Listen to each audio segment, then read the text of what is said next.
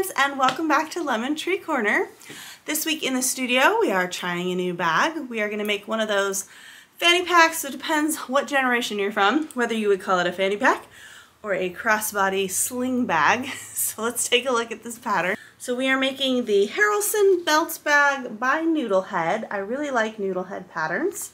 So we got several different versions we can try. The first one is a front flap with a swivel clasp kind of connector here and a zipper in the back. And then we've also got one with a turn lock and one we can use a snap on. So we've got lots of options there. Um, I would like to do this front one just because this is unique and I've never done this before. So I think we'll be doing that one. Let's take a look at our fabrics. So I have quite a lot of leftovers of this fabric that I just made a pouch uh, for my mother-in-law for Christmas one year. So it's this really pretty fabric and then this kind of has a metallic sheen to it. So we'll do those two and then I was thinking of pairing that with just our natural cork. So have some cork accents, have some cork accents for the flap and maybe these connector straps and then Oh, the side connector pieces are regular fabric, but we also have the D-ring connectors and that kind of thing. So I thought that would be fun and we can use our rivet press because we're going to be putting in some rivets in this as well. So that's fun. I think that's just a really timely bag. Everybody seems to be wearing those um, across their body. You can still wear it as a fanny pack and it just seems like an easier pattern. The other one I have has so many options and it has binding again.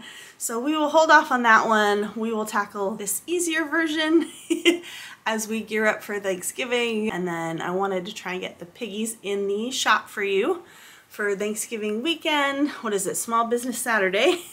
so I don't know if I'll have them in there on Saturday, but I'll definitely have them in there hopefully by the 1st of December and I'll send out a special announcement about that. So if you don't follow me on Instagram already, I would love it if you would follow me. Uh, my handle is at Lemon Tree Corner. I post on there when I have a new video and there's a shop update. Sometimes I show you what's in my crochet project bag, that kind of thing, what I'm working on. So I would love it if you would join me over on Instagram. We also have our community tab now here in, in uh, YouTube. So I can type a quick message to you anytime as well. So I'll put that here on YouTube when that's ready as well. So very cool. And we got our advents for Vlogmas. So I am doing Vlogmas this year. Very excited about that. And hope to see you for Vlogmas a couple of weeks. that pretty much starts like the week after Thanksgiving. So that's coming up. I've already done my intro, so I've got a cute little intro for you. And I think that's it, so we should get started. So go ahead and grab yourself a cozy beverage or a water and curl up on the couch, get comfortable, and let's start making this bag. I got my big old, my big old Dutch oven here. We're gonna make this in. And rinse that out too. So I'm cheating because I'm using rotisserie chicken for this. And what else? And then cumin and chili powder. I mean, it's really just all preference. Gonna add in lots of corn. I might not use both of these. And normally I would do diced chilies, but I do have the Hatch chili salsa right now. So I'm gonna just do that to taste. And then we have our onion, our big old bag of gold potatoes and our carrots and celery. I have new celery, old celery, so I just need to test my celery out here. That's pretty crispy. I think these are, oh, those are pretty good too. Um, I think I'm going to use this, well, part of this. I'm going to use the leaves of this because I like having leaves in my soup.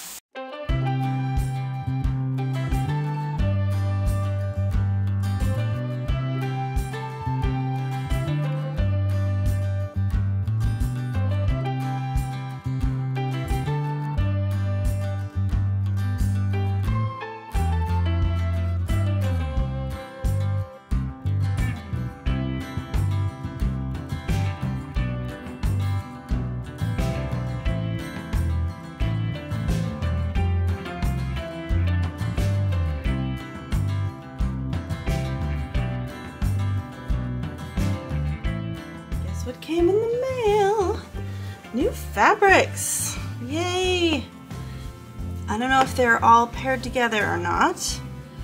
I would have to look on the screen and see which ones I paired together. I went for some Christmas and then a lot of these more muted tones that I was hoping to use with those webbings that we just got.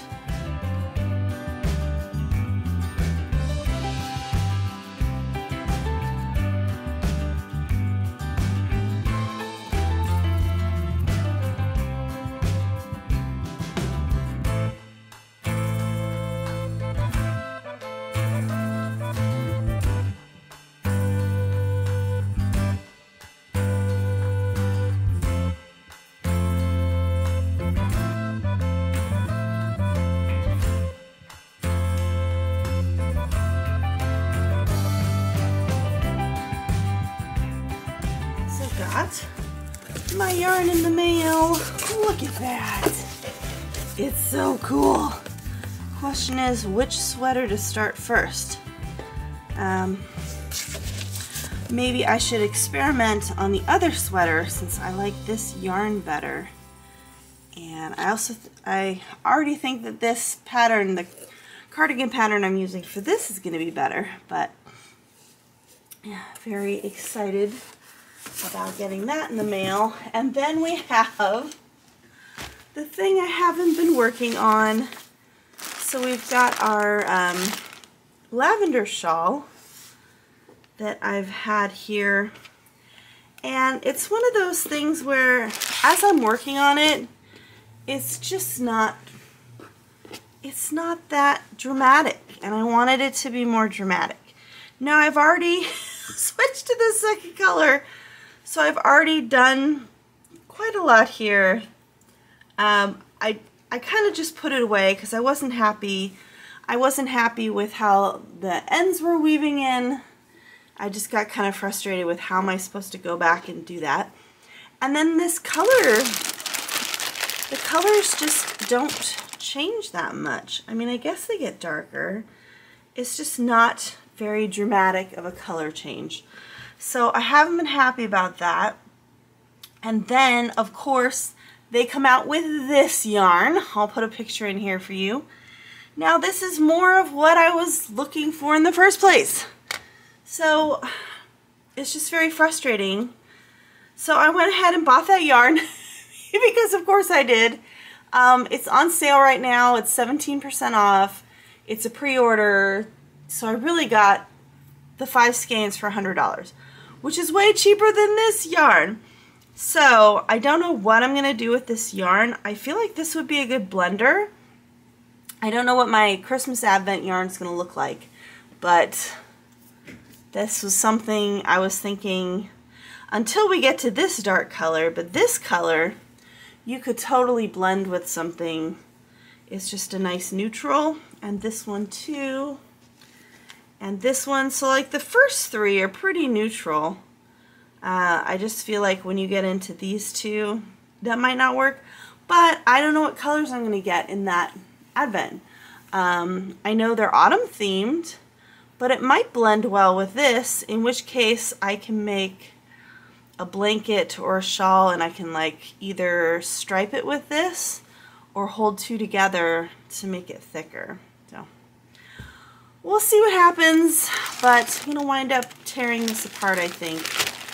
Um, I'll, I'll let this sit here until I get the other yarn, and then we'll see what to do, but I really love this pattern. I just feel like for this amount of work, and I really have to concentrate and count, um, so I feel like for this amount of work and blending the colors, I mean, I can barely see that color change. Can you see that color change?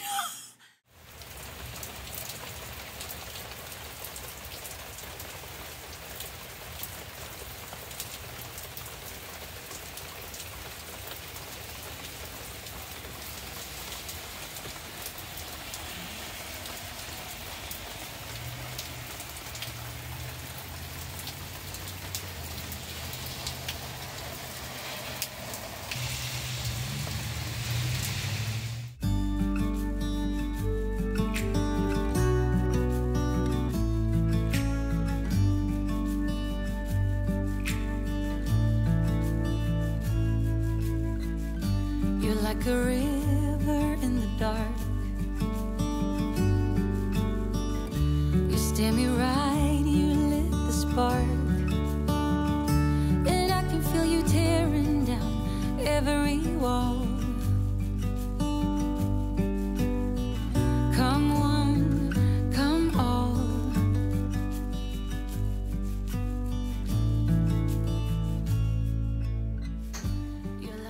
finished Magic Lessons. It was very good. I am. I think they should make a series out of that. It's a really good book. Um, so now I'm on to ghost stories. This is Stephen Fry just telling ghost stories or reading ghost stories like Edgar Allan Poe and things like that. So it sounded very interesting. Stephen Fry is mostly a comedic actor, sometimes a serious actor, but he also narrated the books, uh, the Harry Potter books, if you do the British editions of the Harry Potter books. I think Jim Dale narrated the American version of the books. Those are the ones I listen to. But Stephen Fry just has a very wonderful voice to listen to as a narrator. So very excited to listen to this as we do this project. Welcome, brave listener, to this spine-chilling collection of haunting. Pull up a chair, draw near the fire, and I will tell you some truly terrifying tales of ghosts and ghouls, spirits and phantasms, spectres and apparitions. Perhaps in the dead of night you've sensed their presence. Maybe you felt a shiver on the back of your neck, or you've seen the shadowy and fleeting image of someone you know to be no longer amongst the living. Hey friends, this week's Coffee of the Week sponsor comes to us courtesy of Kathy. Uh, when Kathy donated her $12 for a yard of fabric, she said she's glad she found my channel. Uh, she's a new bag maker and watching my channel gives her the confidence to make more bags. So thank you very much, Kathy. I really appreciate it and I'm glad that I can help you feel confident and seeing my process can help you as a new bag maker. So thank you very much. And if any of you would like to donate to my coffee fund, I'll put it right here. It's um, it's www.coffeeko-fi.com and it's a special site where you can make a donation to my channel.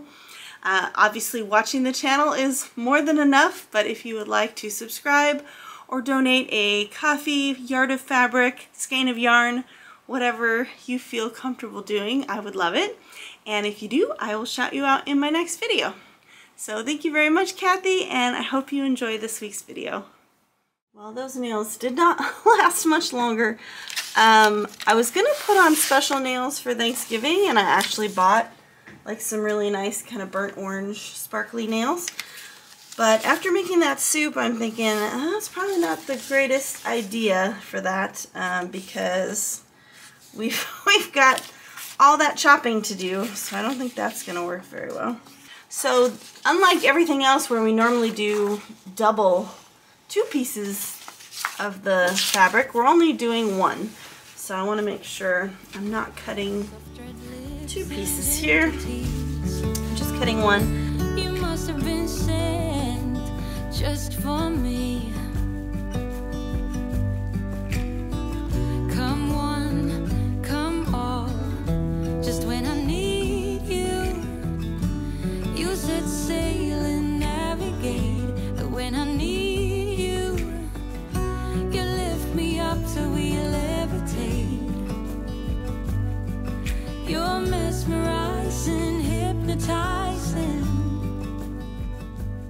Okay, so I did find a tutorial for this, which is a step-by-step. Um, I'll link them below. There's a part one and a part two. And she even goes over the different closure types that you can pick from. Um, so it's very, very good video. I'm glad I watched that first because this bag comes together a little differently than your normal pouch, you know. So I'm looking at these instructions and they want two woven interfacing. So they want one, one SF101 piece that's the entire size and one that's to the dotted line.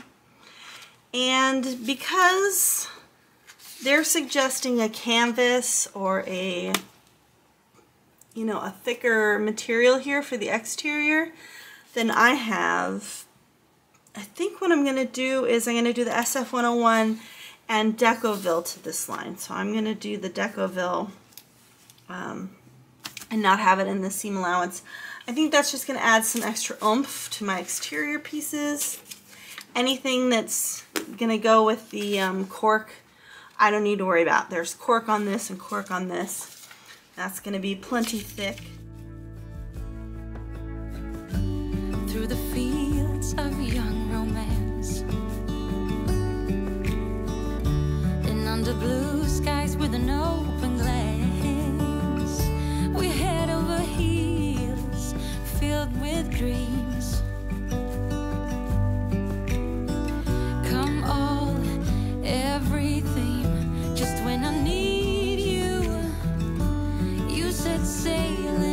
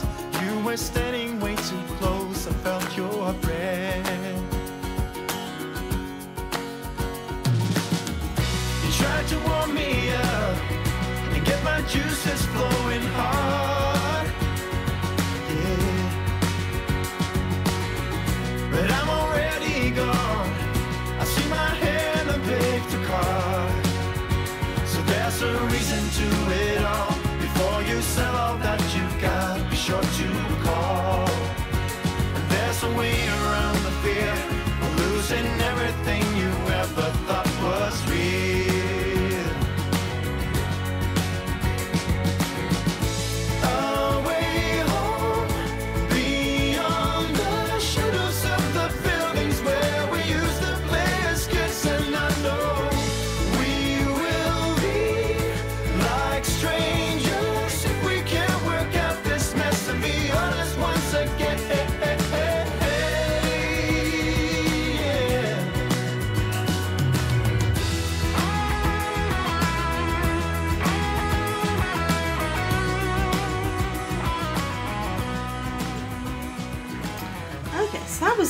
interesting. The whole idea here is that it's going to curve.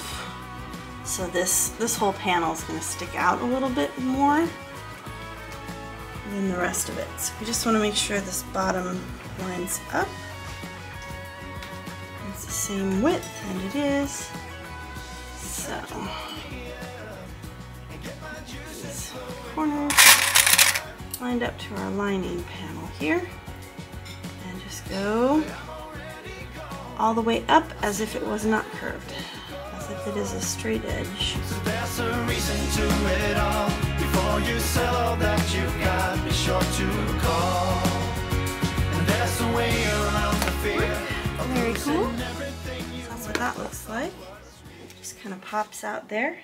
Yeah, we're just gonna baste it on these three sides. This is a very unique way to construct a bag. Very interesting.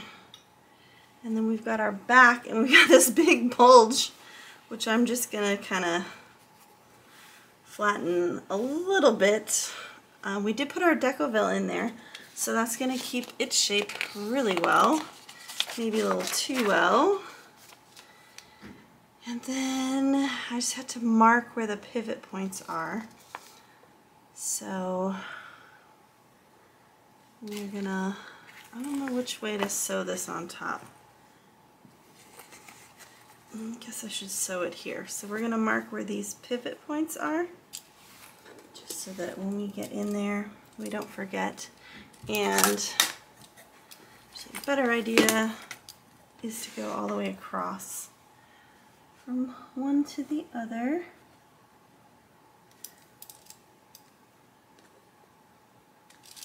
To make sure that they line up. It's just a very interesting project. I haven't had one like this in so long. Okay, so now we are gonna put the two bulky pieces together and we're gonna leave our opening in the flap here. Now she said what I could do is leave the opening all the way across if I have a thicker material. I'm just worried about that. I'm worried because the cork isn't gonna, I can't press it down. So I'm just really worried that that's not gonna work out in my favor. And then we've got some very thick corners going on here as well.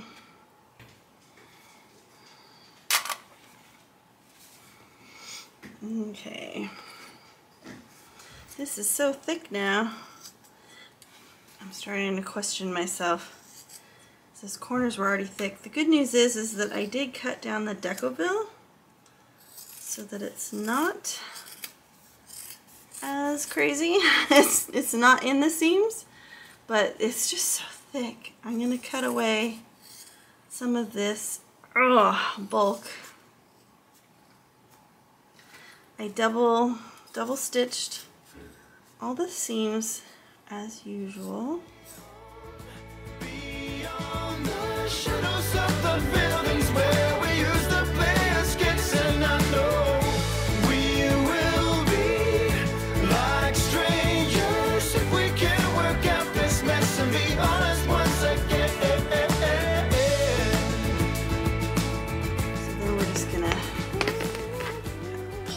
Out.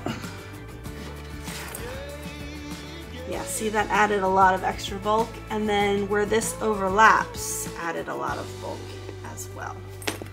So, and I wasn't clear, I mean I know I watched the video but I wasn't clear right there how far up I was supposed to put this. Um, so it is in the seam but I think that was correct. I don't remember. So we're gonna have to top stitch this without pressing. And then, yeah, I'm gonna have to put that in. Oh, well, that was kind of easier than I thought it was gonna be. If that's correct.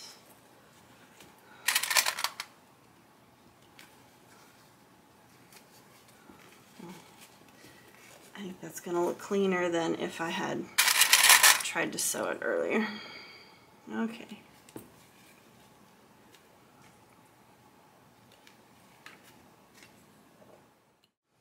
Okay, last step is attaching and riveting the last piece in place. So, she wants us to mark it, but I don't understand why we're not just going through both pieces. We'll follow instructions. Okay, so 3 eighths of an inch down from the top.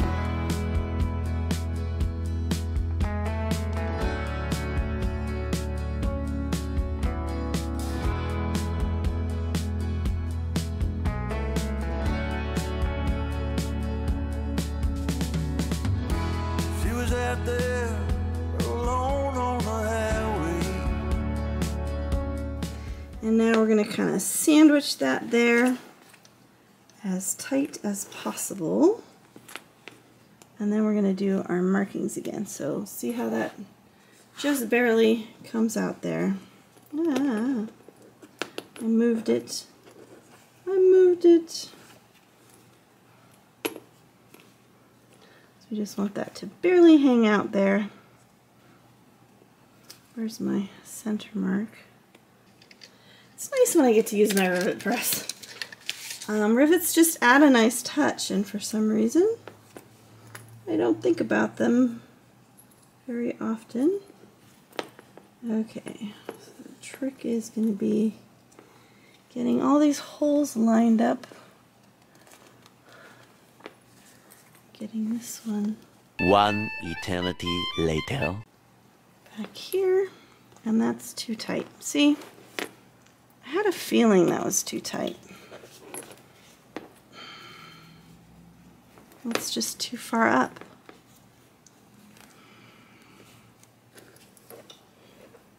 Hmm. Was the wrong hole. So, in order to have this one be in this hole, we're going to be too tight for this here.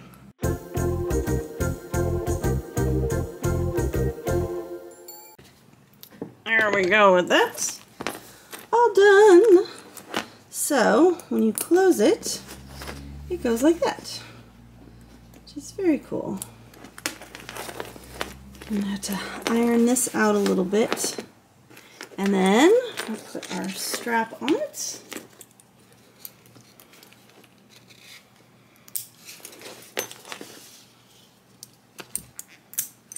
Yay. That is super cute and fashionable. And it's gender neutral. Obviously, if I would if I would pick a non you know, I would pick a gender neutral fabric, then it would be gender neutral. I do think of that when I'm at craft fairs. Everything I do is so girly. I don't really have anything for a guy or a gender fluid person to buy. So that's super cute. And it was a lot easier than I thought it was going to be. For some reason, I was scared of this whole thing. The construction just seemed really crazy. I do like the seatbelt webbing. Um, I'll put it over. I'll put it over my chest when we get to the outro, but not my favorite way to wear things. So I won't personally be using this, which is probably why it took me so long to make one of these, is because it's not something I'm gonna wear, but it is something a lot of people are into right now. And it didn't take that much fabric. So let's do our fabric requirements for it. Yeah, half a yard, fat quarter or a quarter of a yard. And then yeah, if we use the webbing instead of making the strap out of the fabric, I could totally make this with fat quarters or a half a yard left over from something else. Um, I do like theirs. This is like a, a canvas. The canvas I have right now is all like super big Hawaiian prints, so that's not going to work for me. But I'm going to give this pattern an A. It was actually not that difficult, even with the things I did to it. So yeah, I'm very glad I did that one. 320, and this was super fast, it looks like. 130, 230, so what is that, 110 minutes? This only took me four hours to make. This was faster than like any other bag, including the Maya wristlet. Um, that's very cool, which means I can totally sell this for like, like under 30 maybe? maybe 36. Hmm. It is very stylish. I think I could do 32, 36. We shall see. It's super cute. And then it's got the back pocket. which easily fits your phone. It's just a really good size. And I like the little flaps. I like that I made them out of the cork because it ties these in together. But if I had a different fabric, then this would stand out if I did that in a different fabric. So, wow, this is definitely going in my product line. Um, yeah, I'll have to find some more neutral fabrics to go with this because I think this would be a big seller in neutral fabrics. Ah, it's nice to have a win after a couple weeks of not having a win. Friends, thanks for joining me this week. Let's take a look at our bag. Yay, it's so super stinking cute. I just love it. It's got the zipper pouch on the uh, zipper pocket on the back with our new square pull.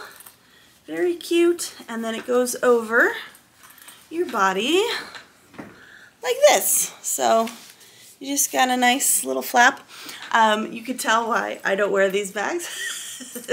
I got the big girls, so I tend not to wear these types of bags. So I leave these kind of bags to the people who can actually wear crossbody bags. but it's very cool, and even when you have it over, so I made the strap longer, she, as she suggested, for larger people. And then you've just got this little swivel clasp that you can open. You can get stuff out without taking it off, which is nice. And then you can also just like stick your phone in the back pocket without taking it off. So very useful and versatile. And it came together super easy and quick. So this is a big win for me this week, especially after the month that I've had. So very excited to make more of these bags. Um, you saw the fabric that just came in. So we're going to be making more of these bags and I have to go through make project sheets for all that fabric and then figure out what we're doing with all that fabric. So that'll be fun. And then next week it is Vlogmas. So we're gonna move into Vlogmas next week. Um, share with you the advent calendars that we're gonna be doing and yeah, just lots of fun stuff. I'm not gonna be releasing a video every day. It'll be every couple of days, uh, at least two videos a week, if not three. So go ahead and hit the notifications bell to uh, find out every time I drop one of these Vlogmas videos. so I hope you join me for a Vlogmas, and I hope you have a happy Thanksgiving if you celebrate that. And I'm going to see you back here next week. Have a wonderful week, everyone. Love you. Bye.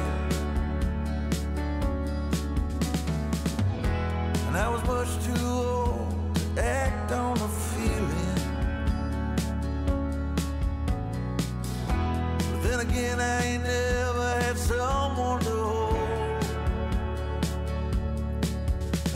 I